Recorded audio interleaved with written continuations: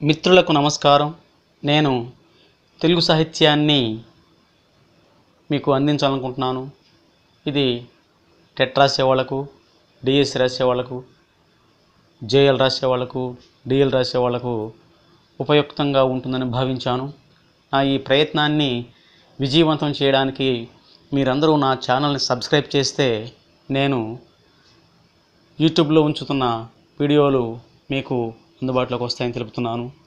దయచేసి నా ఛానల్ను సబ్స్క్రైబ్ చేయండి. మహాభారతాన్ని రాసిన కవిత్రయంలో ఎర్రన మూడవ వ్యక్తి. ఈయన పద్నాలుగు శతాబ్దికి చెందినవాడు. ప్రోలయ వేమారెడ్డి ఆస్థానంలో ఉన్నటువంటి కవి. ఇతని గురువు శంకరస్వామి. శివభక్తుడు అయినందువల్ల ఇతనికి శంభుదాసుడనే బిరుదుంది. ప్రబంధ పరమేశ్వరుడనే మరొక బిరుదుంది. ఎర్రని రచనలు రామాయణం హరివంశం భారతంలో అరణ్య పర్వశేషం నృసింహపురాణం రాశాడు. రామాయణ హరివంశాలను మాత్రం వేమారెడ్డికి అంకితం ఇచ్చాడు అరణ్య పర్వశేషాన్ని మాత్రం తన రచనగా కాకుండా నన్నయ్య రచనగానే కొనసాగించాడు.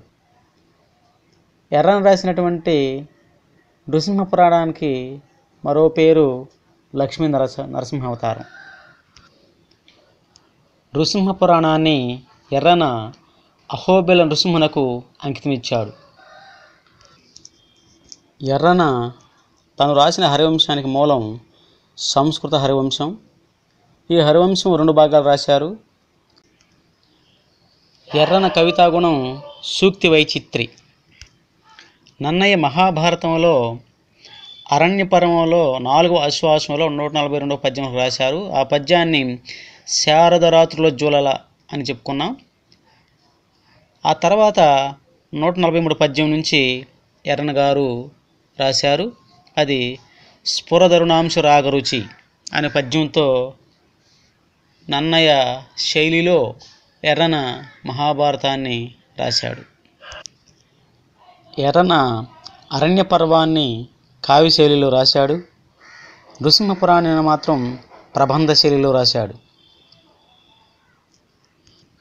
ఎర్రన శివకవి అయినటువంటి అంటే శివుని ఆరాధించే కవి అయినటువంటి విష్ణువు గురించి కావ్యాలు రాసినటువంటి కవి నాచిన సోమన ఎర్రన సమకాలికుడు. ఇతను క్రీస్తు శకం పదమూడు వందల నలభై నాలుగు ప్రాంతం నాటివాడు.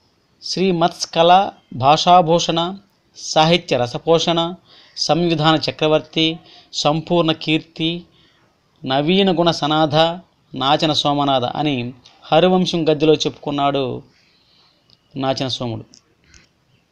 నాచన సోముడు ఉత్తర హరివంశం రచించాడు.